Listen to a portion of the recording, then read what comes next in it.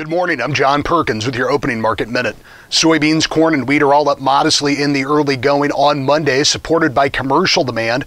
Corn and soybeans are continuing to keep an eye on what should be the tail end of U.S. harvest activity, at least for soybeans. Corn still has some work to do. Forecasts for most of the eastern Midwest do look more conducive for activity.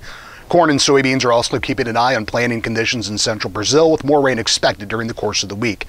As for wheat, the overall fundamental outlook remains bearish, but again, there is commercial support around these price levels. New supply, demand, and production numbers are out from the USDA on Thursday. Cattle are mixed, mostly modestly lower, digesting last week's direct cash trade and watching the distribution of this week's show list. Box beef was mixed on Friday afternoon. And hogs are mixed, mostly lower. Cash business this week is called steady to lower as buyers attempt to bid down in order to improve their processing margins. I'm John Perkins with your opening market minute.